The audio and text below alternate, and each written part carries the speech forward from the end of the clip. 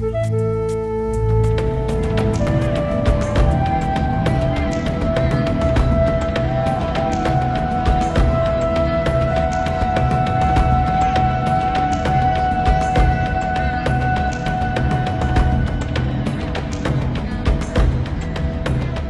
hi there, and welcome once again to In Search of Christianity, brought to you by Bible Talk. On behalf of Mark and my sweet patootie Alice, I just want to greet you in the name of our Lord and Savior Jesus Christ. We're just glad you can be with us for this, the next part of our, our relatively now new program, In Search of Christianity. And uh, we're going to start, but before we do, I'm going to ask Mark to just ask God's blessing on our time together. Well, Lord, it says to lean not on your own understanding in the book of Proverbs. And we just want to renew our mind, change our mind, and reprogram our brains so we can get our heart right to serve you, Lord. And we thank you. We are thankful that we can study your word and proclaim it online and person to person. Amen. Amen. Amen. All right, we um, this is our our fourth program in this new series, and as we left off in our last week, we were talking about imitating Jesus Christ, being like Jesus. We looked at speaking like Him, thinking like Him, and acting like Him, which all led up to this present study, loving like Jesus. But before we start that, having a good time. Oh, I was just saying loving like Jesus. Amen, yeah. Because that's the foundation of it all. It is absolutely the Yes, foundation of everything. Um, I want to talk about a very serious matter, all right? I received some feedback and comments this week uh, about the broadcast that I want to share with you. Uh, first, I want to say that it's really a blessing to get that input, and I encourage anybody watching to do exactly that. You can write to us at office at bibletalk.com com with your comments, or you can go to Facebook at facebook.com slash in search of Christianity. So we, the more you participate, the better it's going to be, uh, more of a blessing it's going to be for all of us involved. Amen. Okay. This dear brother, uh, whom I've known for a long time, contacted me and we were talking, and he said there were two things that he brought up about this program. And the first one was if you've been with us, you realize that I talked a lot when we first began about the difference between normal and common, right? Because I, I thought that was very, very important, and I happen to be a word guy. I, I, I think words are very, very important. But what he was saying to me was that, well, people won't understand that because it's just, you know, normal, uh, anything that everybody is doing is considered normal today. And my point was during the studies, and you can go back and view these again, is the fact that normal is not what's common just because everybody's doing it. Normal is something that you know to be sound and true. No, normal is the way things ought to be done. Normal is an absolute guide to the truth. It- uh, and I don't want to go through the whole thing again, but it came, normal comes from the Latin word for a carpenter square, Right.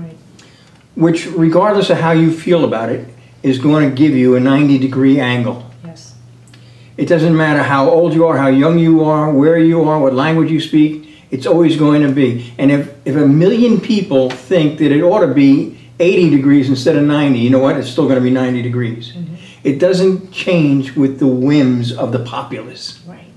Okay, but I understood perfectly what he was saying. Mm-hmm. Because in common use, the word normal just means, well, everybody's doing it. Exactly. Right? I, I understand that. Mm-hmm.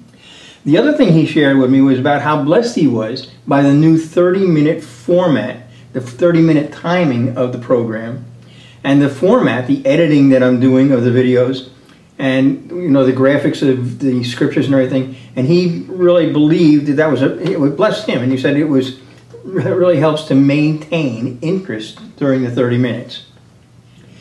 So since I got that feedback from him, I've spent considerable time because I, I promise you, if you send any feedback or comments, suggestions, I take every one seriously. So I took that very seriously, and I went and I've been having an, an ongoing conversation with the Lord about these two things. That's prayer, by the way. So, for you to understand my response to his comments, you have to understand, first of all, this study is not intended for the unsaved. That's right. This is not evangelism, Yes, okay? yes. This study is intended for the saved. More specifically, it is intended, like the letter or the book of Revelation, which it says in the first chapter, the first verse, it's intended for the bondservants of Jesus Christ. It's intended for believers who are truly serious about the Lord and His Word. And truly serious about how that should shape their lives. Okay? The Sermon on the Mount, which I've been saying, and I'll say again, will be a most significant factor in this study, was clearly delivered by Jesus Christ to his disciples. Mm-hmm.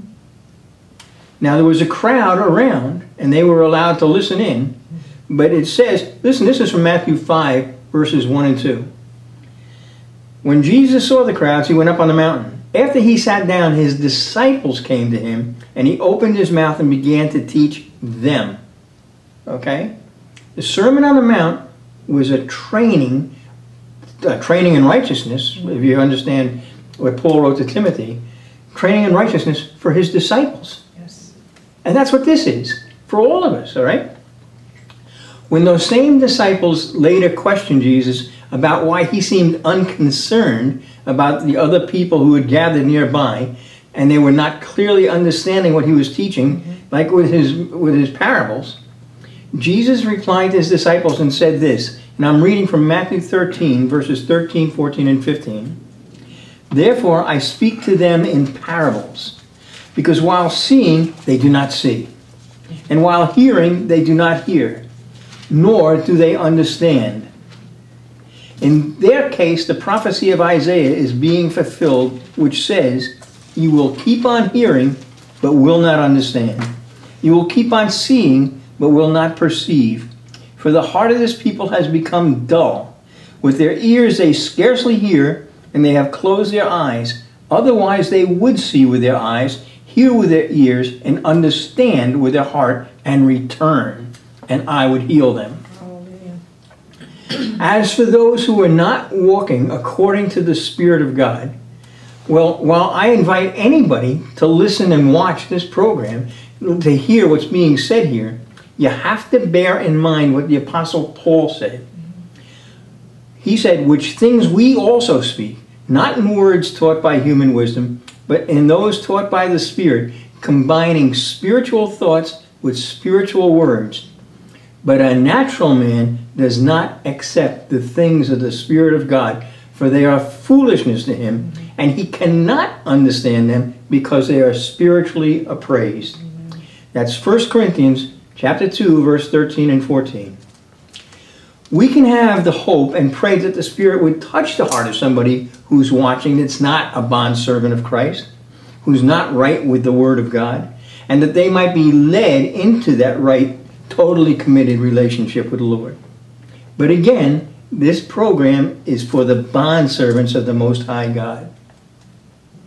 And I said in the very beginning, and I'm going to say this again now this program will be like a university graduate level course. But regardless of how, whatever your level of education is, you'll be able to get it mm-hmm. because of the Holy Spirit. Amen. It is intended to be the solid food of the Word, the meat, for the mature Christian who is filled with and led by the Holy Spirit. That same Holy Spirit who has been sent to lead us into all truth. But it's going to require an effort on your part. Okay?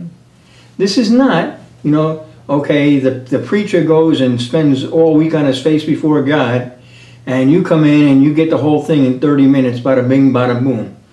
That's a fast food generation that has just impaired the church of God. Okay? He is a rewarder of those who diligently seek Him. You need to diligently seek God about these things. Now, let me just go back for a second, and I don't want to rehash the whole thing, but I want to talk about normal versus common again. Is it just a matter of semantics? And I pray that you're not anti-Semitic. Okay. Ben? Hmm. I, I knew love somebody who did. I, I love the Bible. I love the Word of God. I have since the day I got saved. I Since you just, I, opened yeah, since I first opened it and met Jesus Christ. Mm-hmm. Uh, so I, that's my primary reading. But I like to read other stuff. And one of the most famous r- writers that the world has ever known, although he's not as well known here in the English-speaking world, was Mig- uh, Cervantes. Oh, yes. Miguel Cervantes. And it, he was a contemporary of William Shakespeare, and of course we know Shakespeare, but he was English speaking. Cervantes, of course, is Spanish. But he wrote in two parts, uh, the Man of La Mancha, well, it's not called the Man of La Mancha, it was Don, Don, Quixote, Don Quixote de la Mancha, Right, right? right. The Adventures of Don Quixote de la Mancha. But in in the uh, popular book and the film that was made about it a number number of years ago, Don Quixote is quoted while he is imprisoned, right, mm-hmm. by the Inquisition, I believe, and he said, "When life itself seems lunatic, Yeah. who knows where madness lies? Mm-hmm. To surrender dreams, this may be madness. To seek treasure where there is only trash. Mm-hmm. Too much sanity may be madness. But maddest of all, to see life as it is and not as it should be. We need to see things as God sees things, as they should be. All right? Right, right. The brother who contacted me, who I love dearly, by the way, said that people would not understand what I was saying because everybody knows that normal is just what everybody does, mm-hmm. what's common. Mm-hmm. I am being prayerful that what I say is not just about defending what I said. Mm-hmm, okay? That's not what I want to do here. My concern, my ongoing concern, is about the power of words and how the devil is robbing the church of that power. That's right. That's especially true with the life giving, God breathed scriptures, hmm. which are now commonly being attacked by more and more new, paraphrased, easy to understand versions of the Bible. Because they don't think that the words matter. The words matter, okay? Listen to what I say now. Divorce in the church, forget about the world, divorce in the church has become very common. Greed and the love of money has become more than just common, but in practical terms, it's so common that it's encouraged and promoted by the church and disguised as God's desire for your prosperity. Right, to bless you. The acceptance of homosexuality is becoming more and more common in the church each day now. Mm-hmm. I'm sure you know that. Mm-hmm. Division in the church, and these are only some examples, division in the church is so common today that, like all of the rest of the things that I just mentioned, it is now accepted as normal and as being good. Diversity, you know. Mm-hmm. And that list could go on and on. That new normal is the gospel of Satan, the father of lies. That is the desire of the enemy, who's a liar by nature, to make disobedience to God normal and to separate believers from the word. Amen. There is a difference between what's common and what's normal. I don't expect the world to understand that, but I want you to understand that. Yes. We need to stand and speak the truth in love, regardless of the response. Mm-hmm. Mm-hmm. I mean, look at the prophets of old. You know, they, they weren't patted on the back and Jesus said, look at them. They killed the prophets. That's okay. Now, I totally agree with my brother who said that in general, people wouldn't understand the difference between common and normal as I use them here. Mm-hmm. And I'm also sure that many people will not understand or like many other things that I say. But simply put, I'm not speaking to them. I know too that that statement may sound harsh, but I'm obligated to speak the truth in love and to seek the approval of God rather than men. Amen. Satan doesn't want us to be able to effectively communicate with God or with each other. That's right. That's a simple truth. Satan, think about this now. Mm-hmm. Satan was the engineer, the architect, and the mastermind at the construction of the Tower of Babel. Yes, he was. yes, he was. Okay. All right? He's there watching this old young man, as, there, as people are trying to reach on their own works and get into heaven. Mm-hmm. He was there to see that. And he saw that because God confused the language of the people who were working on it, he confused their inability to communicate with each other, that destroyed that project, project that he, the devil, had inspired. Mm-hmm. He learned a lesson. Yes, he did. The question is, Have we- did we? That's the question. Mm-hmm. The families of the church in the United States commonly send their children off each day to be educated, poorly, I might add. Mm-hmm. By the, they're educated by the world in the ways of the world. Yes.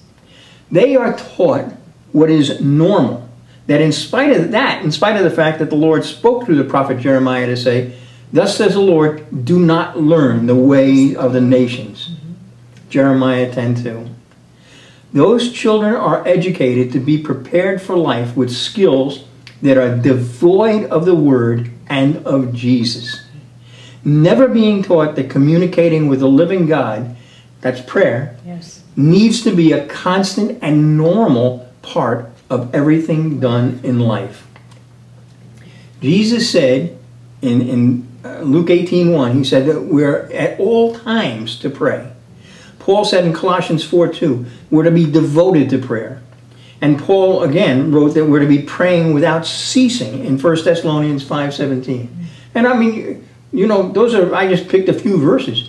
There are dozens and dozens of verses that talk about how we should be praying constantly. And yet, that can't happen in government schools where children spend most of their waking hours and are being quote unquote trained for life. Like the church of Laodicea, Jesus stands outside the doors of those schools, an outcast. That is not, and it never will be, normal. No.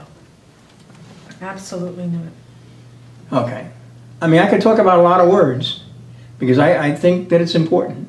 I mean, how often in common usage do you hear the word repent? The very first message of John the Baptist, the very first message of Jesus Christ. I mean, the very first message of, of Peter when he was out on the day of Pentecost. Mm-hmm. That word is, is so powerful, so important, and yet, when, how, how often do you hear it? I promise you that it is, it is not common to be heard. It's been replaced with the word excuses. Well, and it's become replaced with self-esteem. You know, don't don't trouble anybody. Don't. And this is in the church I'm talking about because remember, this is a search of Christianity. I'm not expecting Christianity In out there in the world. No. I'm looking at inside the church. When was the last time you heard it in a church service? Well, what's what's really significant is the fact that some of the biggest churches in the world, which happen to be here in the United States, refuse to talk about sin. That's right. let, Because that's linked. let alone call people to repent of their sins. That's linked, yeah. Because that goes back to the self-esteem. Because they're into self-esteem and Right. preaching all the nice things, the smooth things that people want to hear. Feel good. But listen, that is, that, by the way, that is normal in these perilous last days mm-hmm. because the Word of God says that people will not endure, and he's talking about quote unquote Christians, will not endure sound doctrine. What they want to do is they, they will accumulate for themselves teachers who will teach according to their own desires. Mm-hmm. Well, that's what's going on. Yes. But you know what? That's to be expected because that's what the Word of God says would happen, right? All right. So just just think about that, all right? We have to speak the truth in love. We have to bring the Word of God because it is the imperishable seed of the Word of God that has power to change people's lives. It is the Word that God says through the prophet Isaiah that when He sends it forth, it will not return without accomplishing His purpose. Mm-hmm. There is power in the Word of God. Absolutely. So don't let the world talk you out of using that word because people don't quote unquote understand it or like it, right? Okay. The next thing I'm going to talk about was his second comment, talking about how much he liked the, the layout, the format, the editing uh, of, of the videos. By the way, I do too. I, I think, and I'm not saying this out of pride, but I mean it's because I do all the editing. I do all the work. Uh, I think it looks nice the way it is. Mm-hmm. That said, I may need to repent of all of that work. Okay. Let's let's talk about pretty pictures here, okay? It, it really felt nice to hear those comments from that brother when he said he liked the, the look and feel of the study. He let me know that the shorter time from 30 minutes, which was down from our what we had been doing, 45 minutes to an hour in all our other studies, mm-hmm. he said that was much nicer. And the format, the camera moves, the graphics, the prominent display of the scriptures kept the study interesting and kept it from being boring. Okay? Okie dokie. All right, I understand that. Listen. We're in a visual, living in a Well, visual not, world. not only that, but you have to understand in my background. I, I grew up, my business life started in New York City in Manhattan. And this is back in the day, a long time ago. I was a, a communications consultant for the largest corporation in the world. And I did consulting for, on behalf of that company, for some of the other largest companies in the world. And from there, I went into the advertising business. And when I got saved, I was the president of a small full service advertising agency. I understand persuasiveness, I understand communications, mm-hmm. okay? Yes. I understand what it's like to be boring. I understand that, and you may not know this, but that we've been, the world, we've been trained in the world to have a very short attention span. Can I interject something right at that point? When Thomas Edison started video cameras, he said that movies will never get longer than 20 minutes long because the average person cannot have an attention span longer than 20 minutes. Now, I think recent people have have proved that they can be trained to have shorter attention Well, that's why- spans, that's why- like two minutes. That's why Edison was wrong. But we have to be trained to have longer. Well, the, the, the, I- when I say Edison was wrong, he was absolutely right about attention Attention spans. spans. What he didn't understand, or what he didn't foresee, was editing. That if you watch, if you turn on television, watch any show you want to watch, and you will see how the scene changes, Changes constantly. constantly throughout. Mm-hmm. And that's done to, actually, it was done originally to try and train people, to condition people to receive information in very short blocks. Mm-hmm. And that was done to prepare them for advertising, mm-hmm. which was 30 seconds and 60 seconds. Right. So I mean, this was a purposeful thing on by you know that was done by the world to condition people to have a short attention span. That's the, that's the truth, all right? So I un- I un- I truly understand that, and the reason I start you know I started doing this with this program because I thought it would require less time and effort on my part. Right. Boy, was I wrong. Okay. Is it worse? Oh, I'm spending a lot more time Yes. for me to edit the, the programs as you see now, uh, to, to take a 30 minute program, because remember, I'm, I'm adding all the camera movements, I'm adding all of the graphics, and I have to go out and create all those graphics. I go, I'm adding all the scriptures. It, it typically takes me anywhere from a day and a half to two days just to edit that 30 minute video. Mm-hmm. Okay? Now, I'll get to the reason why I think that may cause me to repent. You see, I, that's what I'm saying. I know that I agreed with my brother because of the amount of time I spent doing the editing, right? Mm-hmm. Because I did it for a purpose. Because I knew that it would it would be easier to follow. And by the same token, now I have to think. I talk about this kind of stuff with the Lord. I did that, and I continue to do so regarding this comment. Consider these verses. The Lord said to Samuel, back in 1 Samuel 16 7, He said, Don't look, he's talking about David. He says, Don't look at his appearance or at the height of his stature, because I have rejected him. For God sees not as a man sees. For man looks at outward at the outward appearance, but the Lord looks at the heart, searches the heart. All right? God's not looking at the outside, right? He gets into the heart of the matter. If we're imitating God, shouldn't that be the way we look at things? Not, not be swayed by the outward appearance, but truly seek the heart of the matter.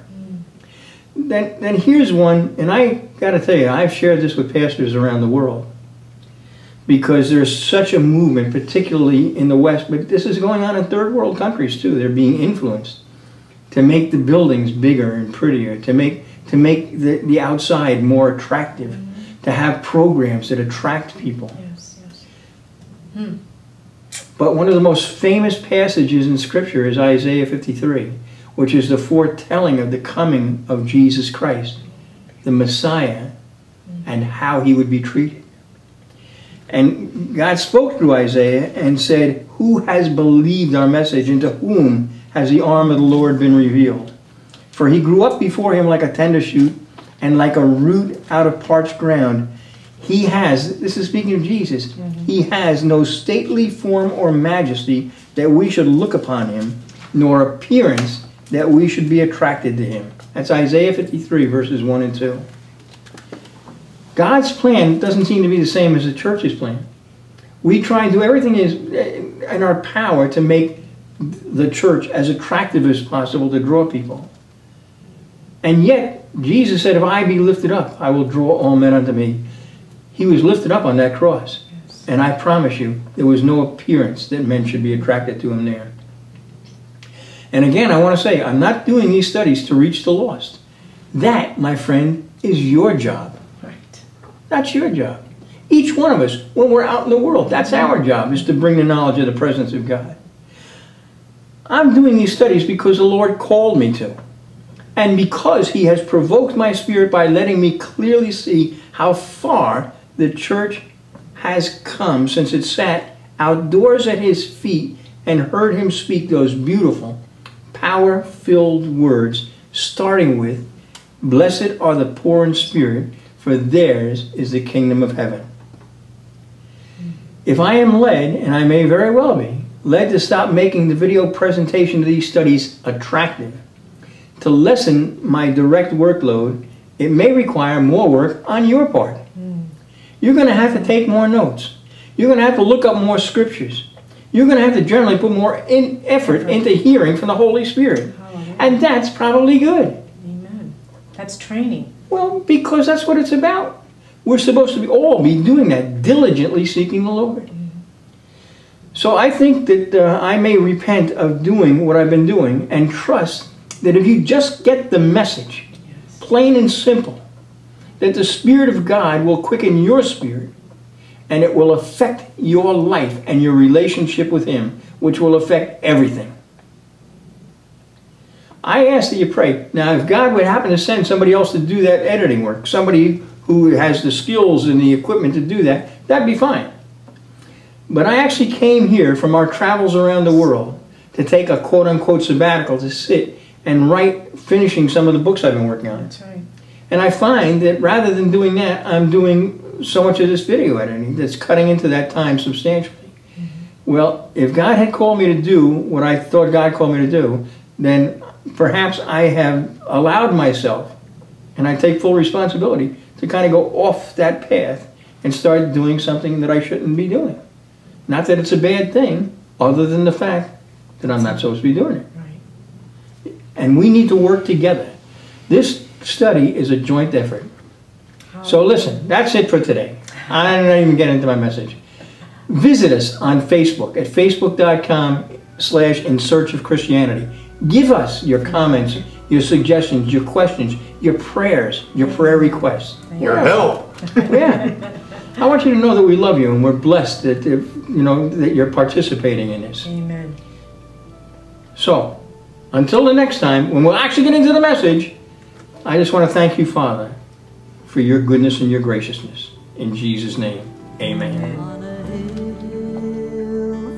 away stood an old rugged cross, the emblem of suffering and shame. But I love that old